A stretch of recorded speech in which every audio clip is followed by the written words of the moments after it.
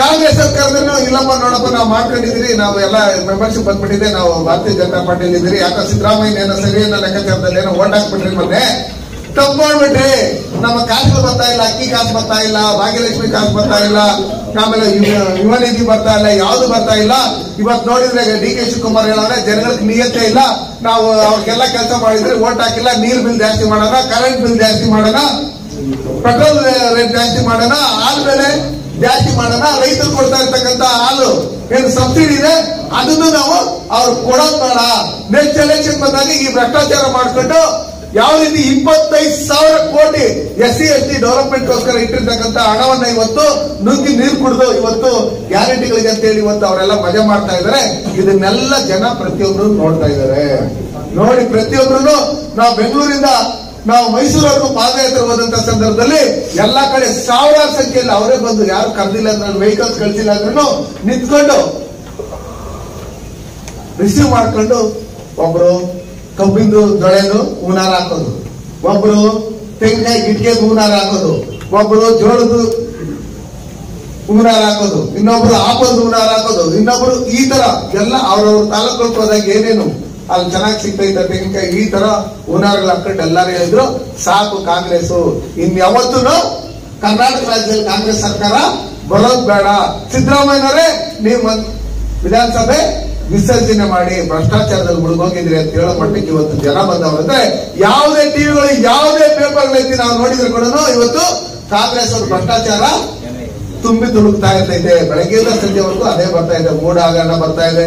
ಯಾರೋ S ಸಿಗಳು ಸೇರ್ತಕ್ಕಂಥ property ಹಿಂದೆ ಕೇಳಿ ನಿಮಗೆ ನೋಟಿಫಿಕೇಶನ್ ಆಗಿರ್ತಕ್ಕಂಥ, ಮೂಡ ನೋಟಿಫಿಕೇಶನ್ ಆಗಿರ್ತಕ್ಕಂಥವ್ರು ಕನ್ವರ್ಷನ್ ಆಗಿ ಲೇಔಟ್ ಮಾಡಿ, ಆ ಲೇಔಟ್ ಲಂಚಿಕೆ ಮಾಡಿರ್ತಕ್ಕಂಥ ಜಾಗದಲ್ಲಿ ಇವರು ಹೋಗಿ ಅವರು ಅಧಿಕಾರನ ದುರುಪಯೋಗ ಪಡಿಸ್ಕೊಂಡು ಇಂಪ್ಲೇಸ್ ಮಾಡಿ ಅವ್ರ ಬಾಮೈನ ಬಿಟ್ಟು ಅದನ್ನ ತಗೊಂಡು ಯಾವ ರೀತಿ ಮಾಡಬೇಕು ಅದು ಇಲ್ಲಿಗಲ್ಲು ಟ್ರಾನ್ಸಾಕ್ಷನ್ ಗಳೆಲ್ಲ ನಡೆದು ಇವತ್ತು ಅವ್ರ ಹೆಂಡತಿಗೆ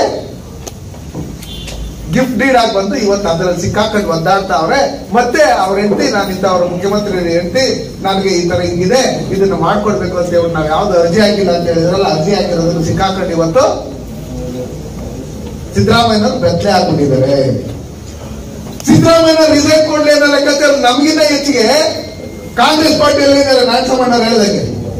ಎಲ್ಲಾರು ಬಟ್ಟೆಗಳು ಹೊಲ್ಸ್ಕೊಂಡ್ಬಿಟ್ಟಾರ ಒಂದು ಡಜನ್ ಡಿ ಕೆ ಶಿವಕುಮಾರ್ ಇಂದ ಹಿಡಿದು ಪರಮೇಶ್ವರ್ ಇಂದ ಹಿಡಿದು ಪ್ರಿಯಾಂಕಿಂದ ಹಿಡಿದು ಖರ್ಗೆ ಅವರಿಂದ ಹಿಡಿದು ಮಾದೇವಪ್ಪನಿಂದ ಹಿಡಿದು ಎಂ ಬಿ ಪಾಟೀಲ್ ಇಂದ ಹಿಡಿದು ಪ್ರತಿಯೊಬ್ಬರನ್ನು ಬಟ್ಟೆಗೆ ಹೊಲ್ಸ್ಕೊಂಡು ಹೋಮಗಳು ಮಾಡಿಸ್ಕೊಂಡು ಶಾಸಕರ ಹತ್ರ ಹೋಗ್ಬಿಟ್ಟು ಸಮಯ ಏನಾದ್ರು ಹೆಚ್ಚು ಕಮ್ಮಿ ಇದ್ರೆ ಹೇಳಿ, ನಾನು ಅದನ್ನ ಸೆಟ್ ಮಾಡ್ಬಿಡ್ತೀನಿ. ಎಲ್ಲಿ ಪೂಜೆ ಮಾಡ್ಬೇಕು, ಎಲ್ಲೋ ಮಾಡ್ಬೇಕು, ಏನು ಎಂತ ಹೇಳ್ರಿ ಅಂತ ಕೇಳೋ ಮಟ್ಟಕ್ಕೆ ಬಂದವ್ರು ಇದ್ರೆ ನೀವು ಅರ್ಥ ಮಾಡ್ಕೊಳ್ರಿ.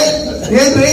ನೀವು ನಾಟಸಮಣ್ಣರ ಮನೆ ವಿಧಾನಸಭೆ ಹತ್ರ ಹೇಳ್ತಾ ಇದ್ರು ನಾವು, ಗಾಂಧಿ ಹತ್ರ ರೆಡಿ ಮಾಡ್ತಾ ಇದ್ದಾಗ. ಏನ್ರಿ ಮೂಡೋದ್ ನೀವು ತೆಗ್ದೇ ಇಲ್ಲ ಇನ್ನು ಕಾಂಗ್ರೆಸ್ ಎಂ ಎಲ್ ಎಗಳ ಕೇಳ್ತಾರಂತೆ, ಯಾಕೆ ತೊಂದರೆ ಇದ್ದೀರಿ ಅಂತ?